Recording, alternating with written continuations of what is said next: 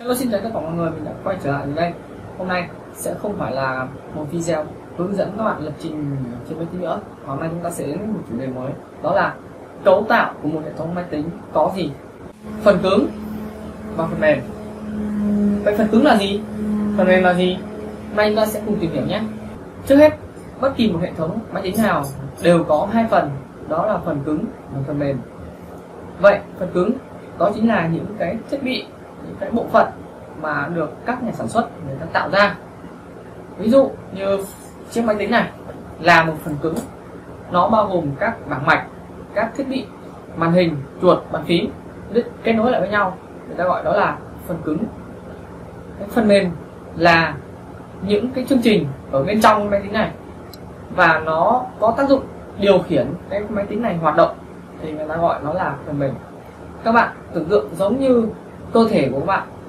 Tay, chân, xương chính là phần cứng của các bạn, phần mềm chính là những suy nghĩ của các bạn để điều khiển tay chân, điều khiển các hoạt động trong cơ thể. Người ta gọi đó là phần mềm.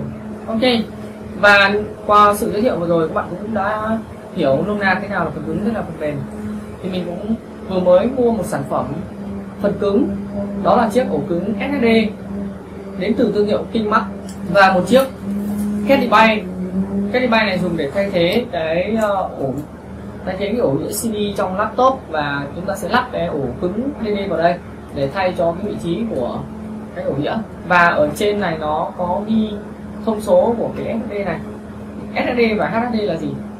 Ổ cứng là gì? Ổ cứng chính là nơi để lưu trữ dữ liệu của máy tính dữ liệu tất cả dữ liệu của bạn được lưu trữ lâu dài trên máy tính nhờ có ổ đĩa cứng. Ổ đĩa cứng thì có nhiều loại HDD và SSD DD chính là cái ổ cứng mà nó được tạo thành bởi cái đĩa quay bên trong. Còn SSD thì được nhà sản xuất người ta tạo ra giống như cái thẻ nhớ một chiếc ổ cứng SSD thì nó có thời gian là sử dụng là 1,5 triệu giờ theo như uh, theo như khuyến cáo của nhà sản xuất bởi vì mình sẽ tính xem 1,5 triệu giờ sẽ tính ra xem khoảng bao nhiêu năm thì cái ổ cứng này nó sẽ hỏng các bạn nhé.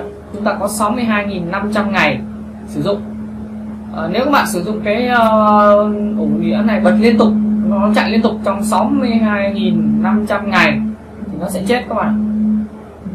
Đây chỉ là khuyến cáo của nhà sản xuất thôi nhé còn uh, việc nó chết hay không thì nó còn phụ thuộc vào đen đủ sự đen đủ của của bạn nữa.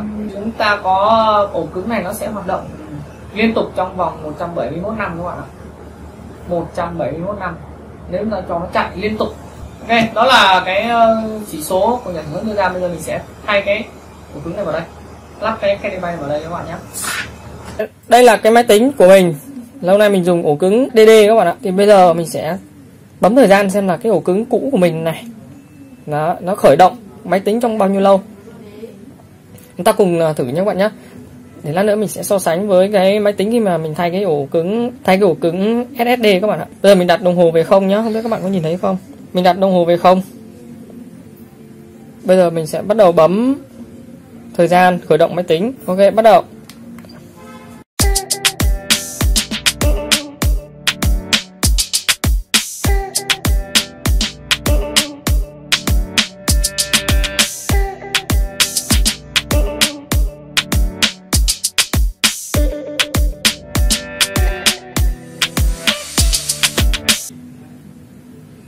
Rồi, mình đang chờ nó khởi động. Chưa xong các bạn ạ.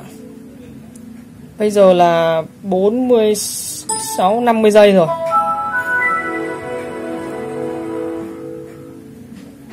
Vẫn chưa xong. Chương trình vẫn chưa lót xong các bạn ạ. Rồi, như vậy là ờ, máy tính chúng ta đã khởi động xong. Mình sẽ dừng lại. Và thời gian khởi động đó là 1 phút 02 giây. 1 phút 02 giây các bạn ạ. Vậy là chiếc ổ cứng ờ, HDD của chúng ta mất thời gian khởi động là 1 phút, hơn 1 phút. Chính xác là 1 phút 02 giây. Bây giờ mình sẽ tháo cái ổ cứng này ra Và mình lắp cái ổ cứng SSD vào. Xem là nó có nhanh hơn không các bạn nhé.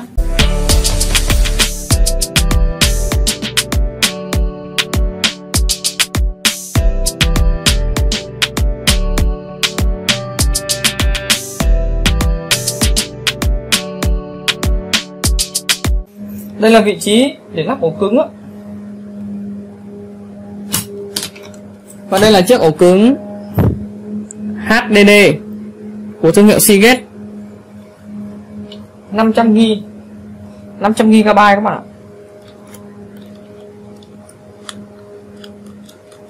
Bây giờ mình sẽ tháo ra mình lắp. Thay vào đó là vị trí của chiếc SSD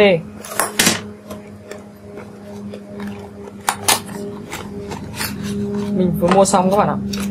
Đây là chiếc ổ cứng đến từ thương hiệu King Max 120GB ổ cứng SSD các bạn ạ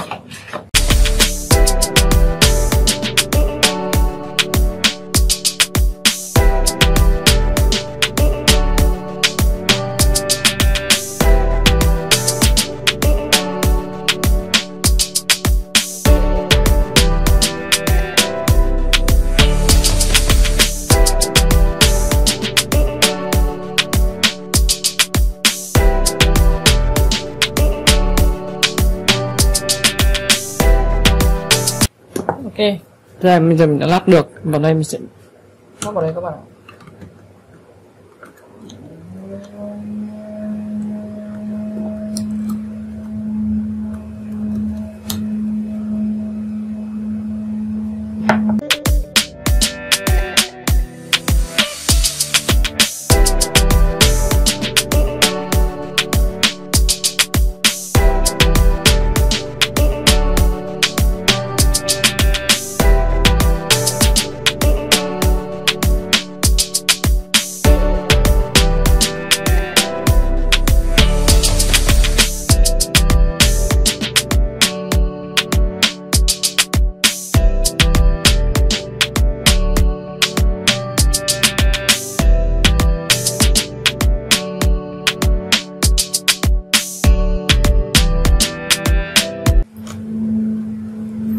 Rồi. Xong rồi. Bây giờ tiếp theo mình sẽ tháo cái cây bay này ra. Đây là chiếc cây bay các bạn ạ. Cát đi bay. Cát đi bay là cái cái, cái bọc ổ đĩa đấy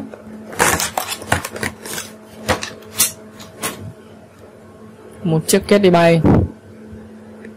Đựng HDD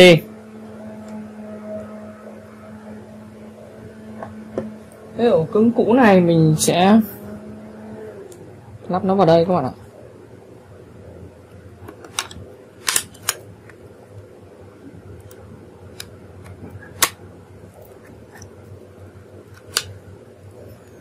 Cứng cũ này mình sẽ lắp vào đây.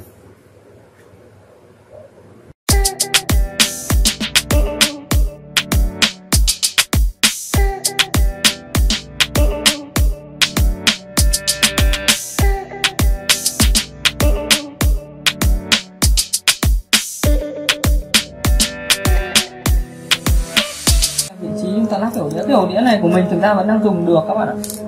Cái ổ đĩa này này vẫn đang dùng được.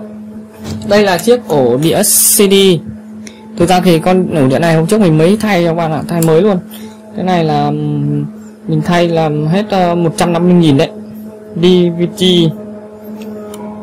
DVD ờ, có chức năng ghi luôn ghi video luôn nhá.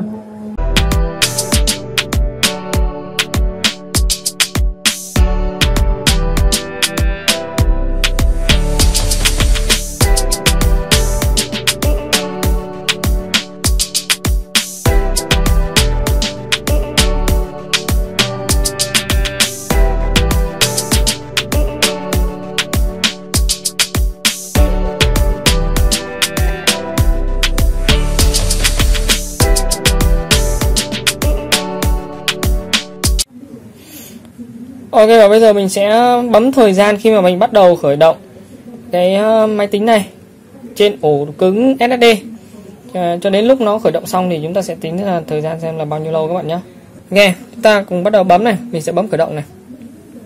Và bấm bắt đầu này. Máy tính ta đã khởi động. Chúng ta sẽ cùng xem là máy tính sẽ khởi động trong bao nhiêu lâu nhé các bạn nhé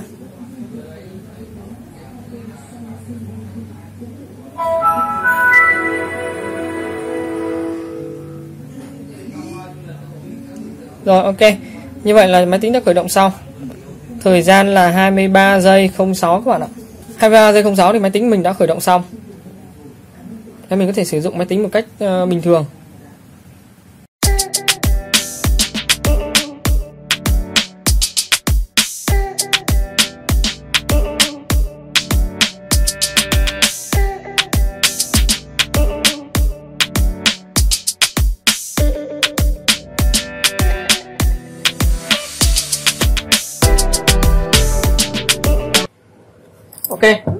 Chúc các bạn thành công.